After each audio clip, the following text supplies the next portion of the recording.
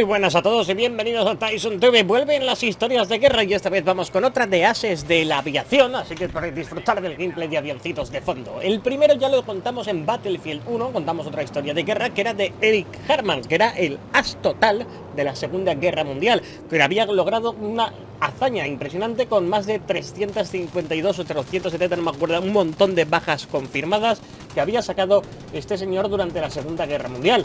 Se había hinchado completamente y nuestro protagonista no se queda lejos en la lista de ases de la aviación de la Segunda Guerra Mundial está en la segunda posición con 301 bajas confirmadas o aviones enemigos confirmados y todos en el frente ruso se trataba de otro alemán, se llamaba Gerard Barkhorn. Aquí lo tenéis en la foto. Aquí en esta foto parece un tío muy simpático, ¿verdad? Pues derribó 301 aviones soviéticos durante la Segunda Guerra Mundial.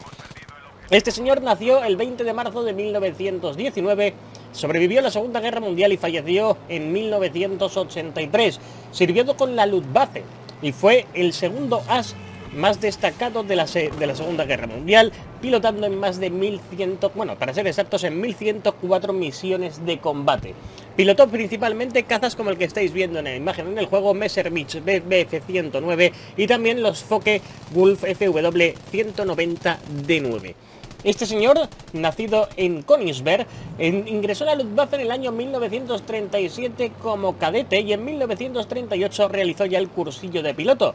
Consiguió ya sus alas y fue ascendido a teniente y asignado al segundo escuadrón de Richthofen, así es como se llamaba. Durante la batalla de Francia realizó sus primeras salidas operativas y durante la batalla de Inglaterra fue derribado el 29 de octubre sobre el Canal de la Mancha, cuando pilotaba su Bf-109E. El 1 de agosto del 40 fue trasladado a otra división después de ser rescatado del fondo del Canal de la Mancha en la batalla de Inglaterra.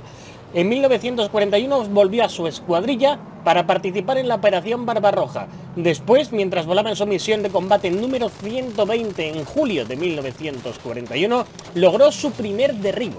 Señoras y señores, sí, están ustedes oyéndolo bien.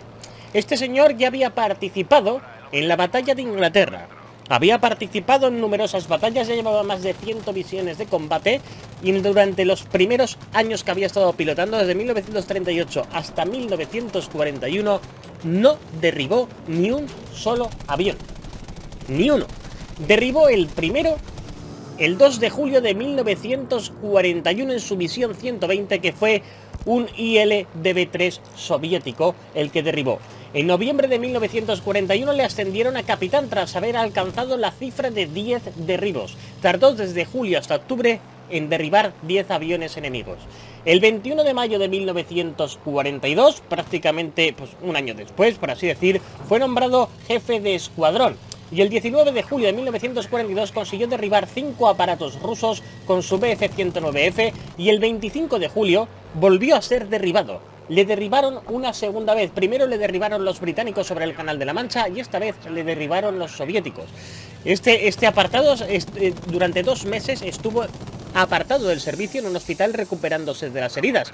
Y en julio de 1942, señoras y señores, hizo su primera hazaña. En un solo, en ese solo mes derribó 30 aviones soviéticos. 30 aviones soviéticos derribados en un solo mes, alcanzando así ya la cifra total de 59 bajas confirmadas, 59 aviones derribados enemigos. Pero el 23 de agosto de 1942, por esta cifra, le condecoraron con la Cruz de Caballero de, de la Luftwaffe. El 11 de enero de 1943, le condecoraron con las hojas de roble para su cruz de caballero por haber alcanzado ya los 105 derribos. Es decir, que tan solo desde 1941, desde el 2 de julio que consiguió derribar su primer avión, empezó a entrar una espiral de confianza en sí mismo y empezó a derribar aparatos rusos de hecho, había conseguido apenas 10 bajas 6 meses después, pero después ya apenas de un año ya llevaba 59 derribos y apenas unos meses después ya llegó a alcanzar esa cifra de 105 derribos ya en 1943. En septiembre de ese mismo año, de 1943, le nombraron comandante del segundo grupo, eh, bueno, Jack Fielder o no sé cuánto, 52, no tengo ni idea de cómo va el tema este de las graduaciones. Y el 13 de febrero del 1944 ya alcanzó las 250 victorias. Dos años después, apenas desde, bueno, tres años después, ya llevaba tan solo 250 victorias, 250 aviones enemigos derribados. El 2 de marzo de 1944 le concedieron las espadas para su cruz de caballero y el 1 de mayo del 44 le ascendieron al grado de mayor. Allí, en mayo del 44, fue vuelto a ser derribado por un P-39 Air Cobra soviético, logrando hacer un aterrizaje de emergencia detrás de sus propias líneas. Consiguió no caer en territorio ruso y volver a las líneas alemanas, por lo que tuvo que pasar otros cuatro meses en el hospital por el aterrizaje de emergencia que tuvo que hacer tras las líneas alemanas y el 14 de noviembre de 1944 consiguió 275 victorias. Ya llevaba 275 victorias. Ya apenas la guerra estaba terminando y el 5 de enero de 1945 consiguió sus últimos dos derribos, alcanzando su cifra final de 301 derribos enemigos. Señoras y señores, este señor empezó durante sus primeros dos años, tres años prácticamente, sin derribar ni un solo avión, pero en los cuatro años siguientes derribó 301 aviones soviéticos eh, durante la Segunda Guerra Mundial. El 16 de enero del año 1945 eh, le nombraron un nombre muy largo, Geswatchender Commandore del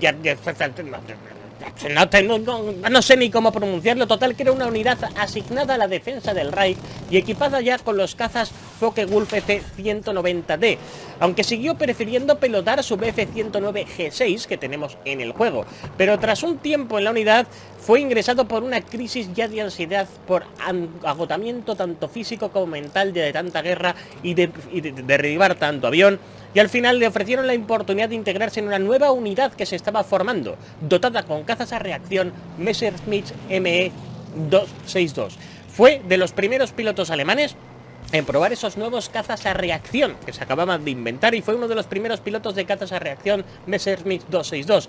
El 21 de abril del 45 voló su última misión operativa que era la 1104, derribado por varios cazas P-51, pero logró aterrizar su avión en llamas siendo hospitalizado con heridas leves. Al finalizar la guerra fue hecho prisionero de guerra por los aliados cuando se encontraba en el hospital, siendo liberado en septiembre de 1945. Después de la guerra, se unió a la Bundesluftwaffe en 1956, ya, en este caso de la Alemania de la posguerra.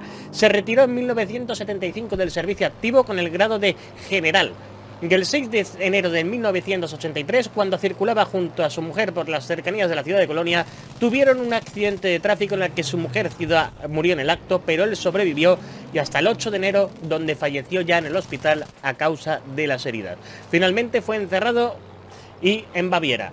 Esta es la biografía de este piloto que sobrevivió a la Segunda Guerra Mundial, aunque consiguió tener una larga vida, consiguió, siguió pilotando después de la Segunda Guerra Mundial, ya para el ejército alemán de la posguerra, por así decir. Fue uno de los primeros pilotos de los cazas a reacción, pero su primera experiencia le volvieron a derribar.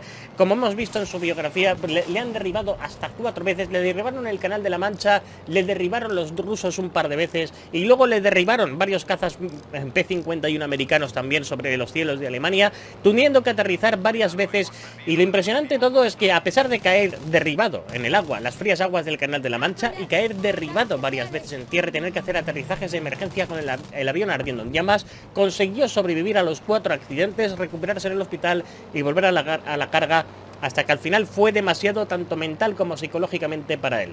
Esta es la historia de este piloto, de este señor, de este señor Gerard Backhorn, el segundo as más aclamado de la Segunda Guerra Mundial, con 301 derribos y todos hechos contra tropas soviéticas. Si la mala suerte, pues que a causa de ese accidente de tráfico pudo haber vivido más tiempo, pero un accidente de tráfico, irónicamente, fue un coche el que lo mató en lugar de un avión. Espero que os haya gustado a todos esta historia de guerra. Habrá más historias de guerra próximamente. Si queréis que cuente alguna en específico, dejadla abajo en la descripción y ya sabéis, darle al like es gratis. Nos vemos en el próximo vídeo.